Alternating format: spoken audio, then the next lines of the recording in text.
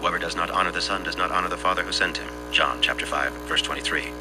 Whoever hates me hates my Father also. John chapter 15, verse 23.